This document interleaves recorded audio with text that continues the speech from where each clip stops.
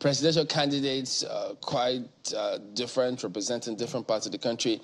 And then there's this comment that's been making the rounds about comments that you made concerning uh, persons who do, do, not vote for, I think, your candidates, considering them as saboteurs. What do you mean by that?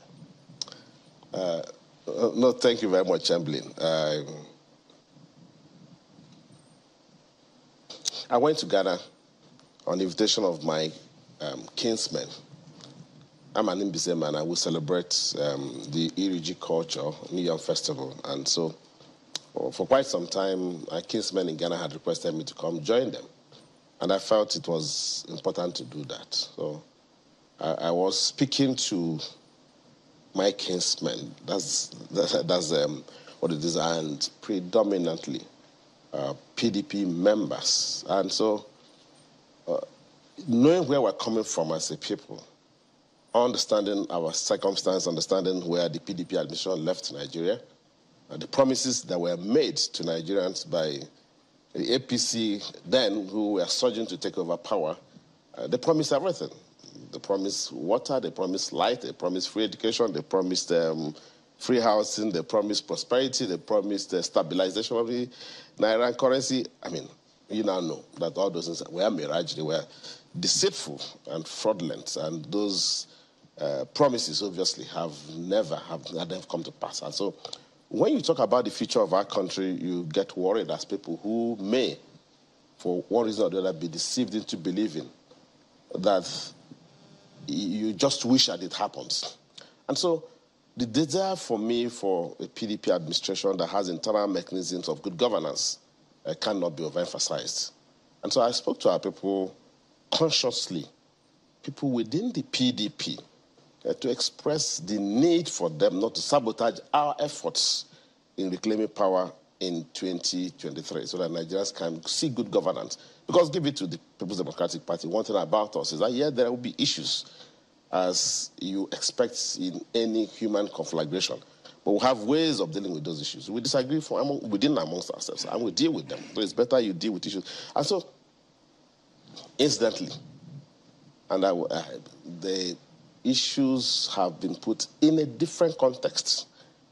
And some, some persons, majority of whom love me, majority of whom believe in me, majority of whom have confidence in me, majority who have very huge expectations of me, uh, rightly so. Because so, so, some the interpretation that they gave it was that you were asking that no Southeasterners should yeah, vote for a Labour Party candidate. Yeah, that's the point. Yeah, that's what I mean. That's what I'm saying. So, huge expectation born out of abundant love and expectations. To say, look, that I am as calling any or every Southeasterner, Igbo man at that, or indeed Nigerians who do not vote for my party as supporters, That cannot be.